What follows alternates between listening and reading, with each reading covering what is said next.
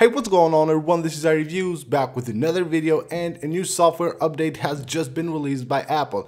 iOS 11.3.1 has just been pushed to the public by Apple and in this video I will talk about what's new and whether you should update or not to iOS 11.3.1. The iOS 11.3.1 update should come to your device at around 50 megabytes. Of course that will change based on different devices and according to the software update page right here, iOS 11.3.1 will improve the security of your iPhone and iPad and also will address an issue where touch input was unresponsive on some iPhone 8s that used that were serviced and used non-genuine replacement displays. So that issue should be fixed with this update of iOS 11.3.1. So basically this is it for this update. It's a minor update and Apple has released it just to address this issue because for more updates, for more new features, we have iOS 11.4, which right now is on beta, and that should contain more fixes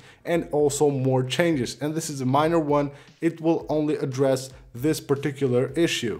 Now let's talk about whether you should update or not to iOS 11.3.1. Of course, if you're waiting for a jailbreak, always stay on the lowest firmware possible. And also go ahead and save your SHSH blobs as iOS 11.3 will stop being signed probably very quick.